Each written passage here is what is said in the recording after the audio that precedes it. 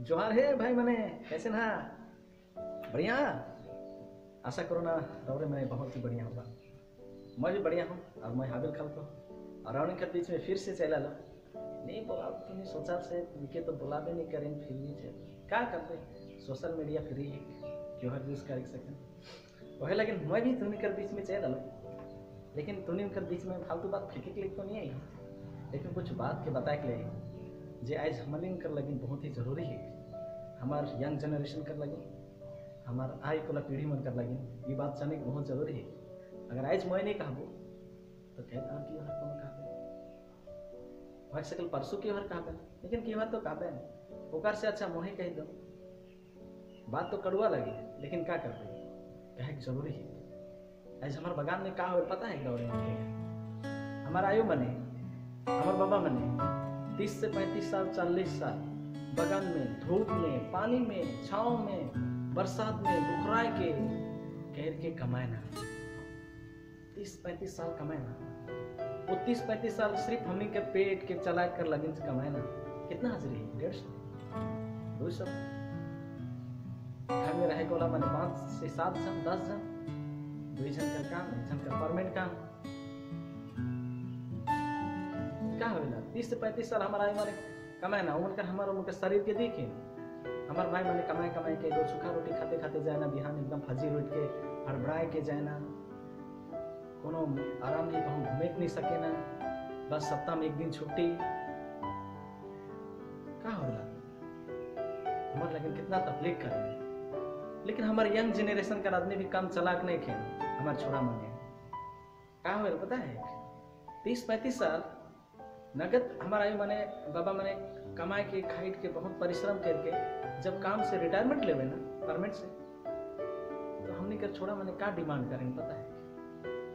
नहीं वो बाइक के लिए डेढ़ से दो लाख रुपया मिलेला शायद मैं तो कहूँ ना, उतना साल कमाए के हमारे लाइफ के चेंज करे कर लगिन एगो पूंजी मिलेला हमने मन के कि हमारे जो कंपनी है, वो भी एगो पूंजी देवेला कि एखन तो बगान से रिटायरमेंट हुआ थे तो बाहर जाके जो पैसा है, ओकर से कोनो बिज़नेस उजनेस के अपन लाइफ के सेटिंग कर। कल के बगान से तो रिटायरमेंट हो लेकिन हमारे यंग जनरेशन का छोड़ा मैंने क्या करे ना? वो रिटायरमेंट पैसा के, आयु बाबा के अच्छा हम से कह के क्या करे ना? अच्छा अच्छा बाइक किनवा लेवे ना है नहीं रिक्वेस्ट करे ना क्या करबो? बाप मने, बुढ़िया मने, बुज़ुर्ग हो जाए ना। और बाप और बेटा हर मन थोड़े पढ़ा लिखा रहे ना सोचे ना बाबू ठीक कहते से।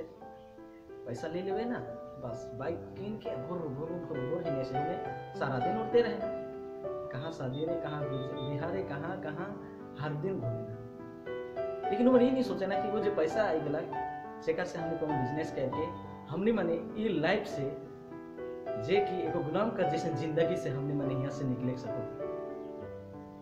लेकिन वो नहीं सोचे ना। बस तीस साल तो नहीं खट लगा, खुद खटने हमें पता चले। एक आध चीज़ कि, बगान में कमाए, धूप में, पानी में, छाँव में। लेकिन हमारे जनरेशन से सब सोच नहीं खे हमारे तो हमने चला, हमने के लगी बाइक अगर वह पैसा के कोनो बिज़नेस में, कोनो छोटे मोटे व्यापार में यूज़ करते हैं, प्रयोग करते हैं, भले वही पैसा आज बैठ के कितना हो जाता है। लेकिन नहीं बाइक लगी, बेटा के बाइक लगी। माँ इतना साल कमाए के गला, लेकिन बेटा के बाइक लगी। और बाइक लेके, पी के हिमने ने घुमाना किया तो ढुटमाए के, चल भी जाना नहीं बचे ना गोड़ टूटा देवल के का टूटा देवल। बहुत ज़्यादा है हमारे इलाका में बहुत ज़्यादा आदमी के दिख हो सब बात के। व्यापार रिटायरमेंट होला? मैं यहाँ रिटायरमेंट होला? पैसा लेके गए पैसा से निकला ले लेन बाइक किन ले लेन बस अपने मन मार लेना। थोड़ी सी बुद्धि और दिमाग लगाते। हैं बोले वो जो चालीस पचास साल से जो बागान में खटाते हैं वहाँ से भी अच्छा लाइफ जी सकते हैं वो पूंजी पैसा से। हमारे जगह तो कभी मोटा पैसा आवेल नहीं।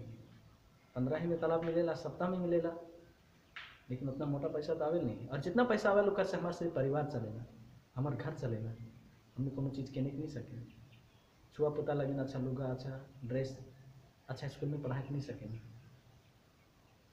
डेढ़ से दो सौ रुपया रही। और आजकल महँगा का ज़माना, कितना खर्चा बढ़ते जाते बढ़ते दिन।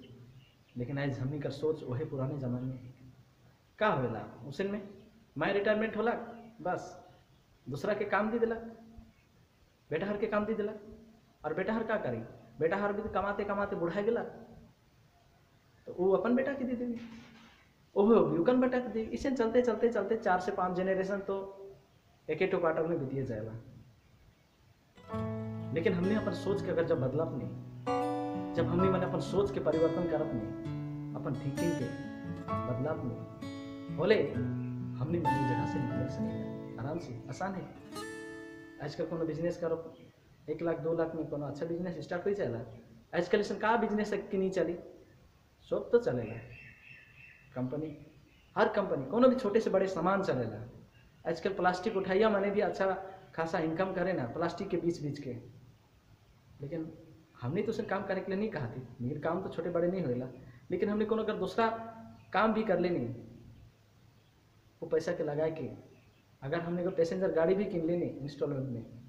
बोला, हमने से भी वो इनकम कर सकेंगे। अच्छा खासा अपन लाइफ के चेंज कर सकेंगे। अरे लेकिन क्या करो? हमार जेनरेशन तो कुछ ज़्यादा ही समझदार है।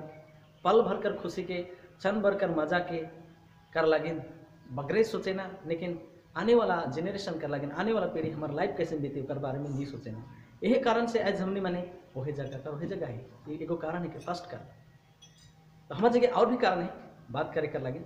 लेकिन फ़िलहाल आज कर लगिन इतने ही। और अगर रौरेमल के मोर वीडियो अच्छा लगला तो लाइक ज़रूर करबा और कमेंट ज़रूर करबा। और अगर अच्छा नहीं लगला, खोले शेयर कर देबा हिने हुने चित्राई देबा। पता नहीं कि को अच्छा लगे, और कर लाइफ बात देख सके थैंक यू धन्यवाद और के जोहार। फिर मिलब बाय